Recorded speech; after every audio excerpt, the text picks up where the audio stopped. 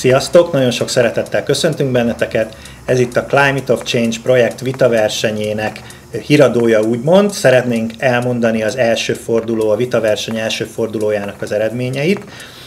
Én Gál Dávid vagyok, a projekt koordinátora. Én Szabó Márk vagyok, kommunikációs csapattag. És mielőtt elmondjuk az eredményeket, azért szeretnénk egy pár gondolatot mondani erről az egész versenyről. Ugye a Climate of Change projekt egy nemzetközi projekt, 13 országban vitáznak, most gyakorlatilag veletek egy időben, diákok, egyetemista hallgatók, egyetemi hallgatók, és azért döntöttünk a vitaverseny mellett, azért van egy vitaverseny ebben a projektben, mert azt, hogy kik vagyunk, azt alapvetően meghatározza azt, hogy hogyan viszonyulunk a másik emberhez, miképpen gondolkodunk, hogyan ütköztetjük a gondolatainkat, a cselekedeteinkre is kihat az, hogy hogyan viszonyulunk a másik emberhez. Ezért fontos, hogy a, a különböző vélemények ütköztetésének legyen egy kultúrája, ahol se, amit senki nem vesz személyesnek, ami, ami egy kifinomult vagy civilizált dolog. Erre tanít a vita verseny többek közt, és talán még érdekesebb, amikor olyan témákról lehet gondolatokat megosztani, meg véleményeket egymásnak ereszteni, amik teljesen húsba vágó dolgok, és a jövőnket nagyban meg fogják határozni. Ez például a klímaváltozásnak a kérdése, egy nagyon-nagyon vitatott, nagyon izgalmas kérdés, és ilyen kérdés az is, hogy az emberekre milyen hatása van a klímaváltozásra, adott esetben mi történik azokkal, akik kiszolgáltatott helyzetbe kerülnek azért, mert a, az ő területükön, az ő országukban a klímaváltozás miatt ö, megváltoztak a körülmények, esetleg élhetetlenné váltak a körülmények. Így van, és ahogy Dávid is elmondta, hogy rettentő fontos témákkal foglalkozunk, ami számunkra is kifejezetten izgalmas, hogy ezekről a témákról lehet vitatkozni, lehet kultúráltan vitatkozni, sőt lehet szabályokat betartva vitatkozni. Közel száz diák jelentkezett a vitaversenyünkbe, amit középfokú és felsőfokú oktatási intézményeknek szervezünk. Nekünk ez az első ilyen vitaversenyünk, és rettentően izgalmas látni, ahogy készültök, ahogy vitáztok. Um, Órákon keresztül lehet beszélgetni azokról a témákról, amiket Dávid is felsorolt, ezért különleges, amikor három csapattagnak fejenként van három perce, van egy szabad vita rész, és akkor ilyen korlátok között hivatásos bírák előtt összeengedni az érveket, az egy komoly kihívás és komoly feladat. Úgy gondolom, aki részt vesz egy ilyen vita versenyen, biztos, hogy olyan képességekkel lesz gazdagabb, amiket később is lehet használni.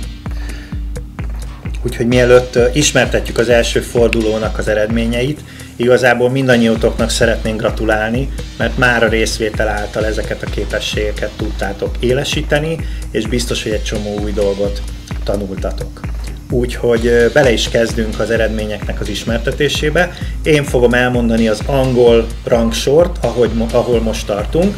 Ugye tudjátok, hogy minden csapat megy tovább a második fordulóra, tehát, hogyha egy picit alacsonyabb a pontszámod, semmi baj nincsen, mert a második fordulóban még meg tudod fordítani, meg tudjátok fordítani a versenyállását, úgyhogy nem is húzom tovább az időt, hanem mondom, az angolul vitázó csapatok között, ugye második forduló már teljes, teljes egészében számotokra angolul fog zajlani, az első helyezett a Prove Us Wrong 141 ponttal, gratulálunk, ez egy velencei csapat. Második helyen az Inevitables of Veritas Budapestről 137 ponttal. Nektek is gratulálunk a, az ezüstéremhez.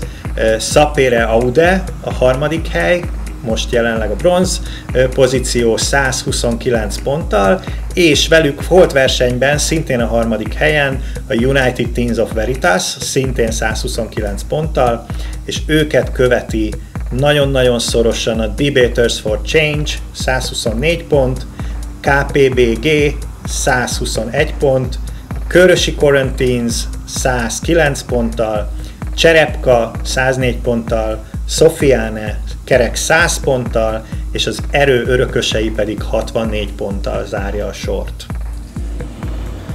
A második kategóriába a magyarul versenyző csapatok kerültek, és így következik a sorrend. Első helyen holt versenyben az Untitled United és az AKG 134 ponttal, vagy nagyon szorosan második helyen a PB 133 ponttal. A Meliorizmus 117 ponttal így a harmadik, utána a Fünfkirchen 114 ponttal és a Climate Széchenyi 109 ponttal következik.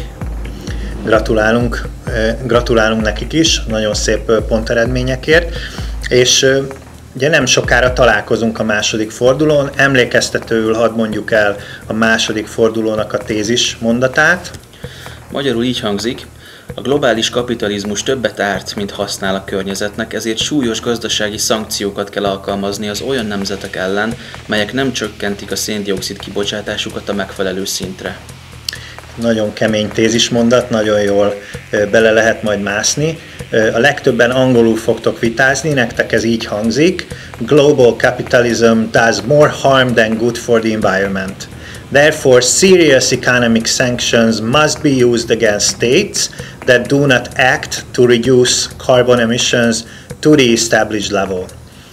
Nagyon ö, kemény mondatok ezek, nagyon-nagyon jól föl lehet készülni pro és kontra, úgyhogy nagyon jó készülést kívánunk mindannyiótoknak, és találkozunk a második fordulóban. Sok sikert! Sziasztok!